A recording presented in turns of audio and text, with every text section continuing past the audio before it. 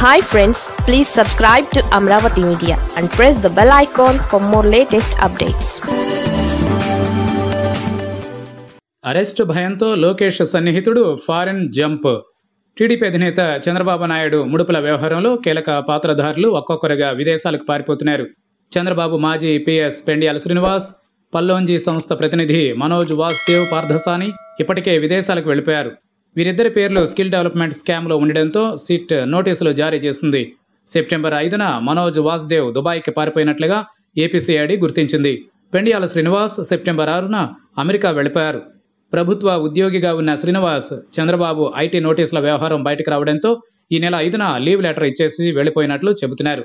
తాజాగా లోకేష్ అత్యంత సన్నిహితుడు టీడీపీ కార్యదర్శిగా ఉన్న కిలారు రాజేష్ చౌదరి కూడా దేశం విడిచి వెళ్ళినట్లుగా ప్రచారం జరుగుతోంది. ఇప్పటికే స్కిల్ డెవలప్మెంట్ స్కామ్ కేసులో చంద్రబాబును సిఐడి అధికారులు అరెస్టు చేసి రాజమండ్రి సెంట్రల్ జైలుకు తరలించారు. చంద్రబాబు సిఐడి కస్టడీ విచారణ కూడా జరుగుతోంది.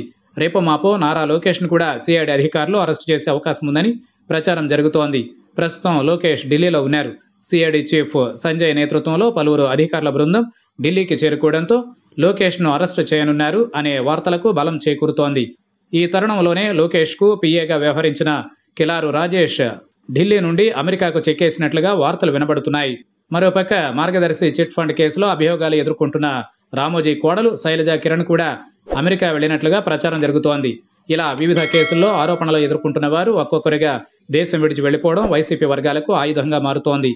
ఆరోపణలు ఎదుర్కొంటున్న వారు తప్పు చేయకపోతే దర్యాప్తు అధికారులకు సహకరించి విచారణను ఎదుర్కోవాలి కానీ ఇలా దేశం విడిచి ఎందుకు వెళ్ళిపోతున్నారని సోషల్ మీడియా వేదికగా వైసీపీ శ్రేణులు ప్రశ్నిస్తున్నారు.